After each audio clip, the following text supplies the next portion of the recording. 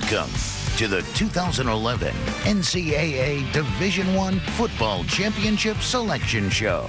And there is Montana State as they watch on in Bozeman. Their first opponent will be a second round game against New Hampshire. Question for Montana State is going to be they got a week to think about that loss to their rival. They had a chance to come in as a number one seed potentially.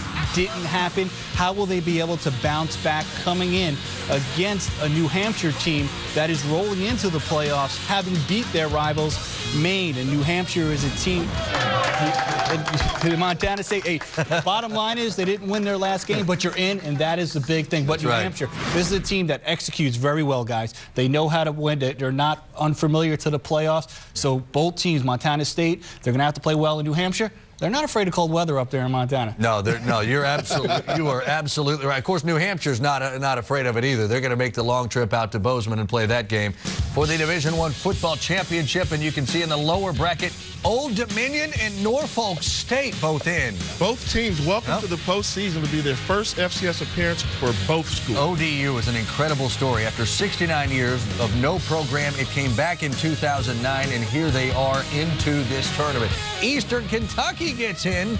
James Madison will travel to Eastern Kentucky to start the season, to Call, start the playoffs. call this the bubble bowl. I thought both of these teams were clearly on the bubble. Seems like they both were rewarded, and they get to face off against each other. Appalachian State will take on Maine there. So there you go. Georgia Southern awaits the winner of ODU Norfolk State. App State and Maine will be a second round matchup at App- Appalachian State up in Boone, North Carolina. So that's what we're looking at. Now, App State and Maine, when you see this, Maine went into yesterday with a chance to win a conference championship, ended up falling.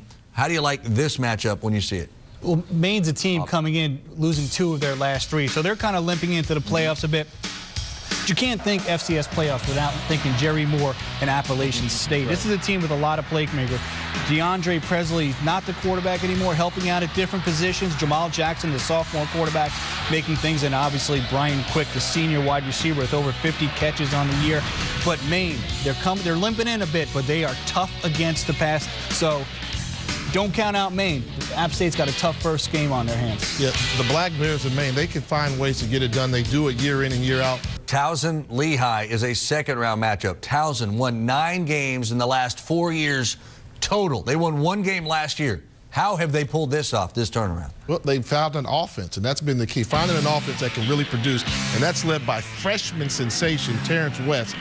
27 touchdowns, not passing, rushing. 27 touchdowns, 1,200 yards. They found a way to win the close games. Robert Ambrose did a fantastic job. The Towson Tigers are the champions of the CAA conference, which many people call the FCS uh, the SEC of FCS football. Remarkable turnaround there. What a great story it is. What Towson has been able to do as we now welcome in the head coach of the Tigers, Rob Ambrose, joining us now. So, for the first time, coach, you win the CAA. It's your first appearance in these championships, an eight win improvement from a year ago. I can only imagine. What are you feeling for your program right now?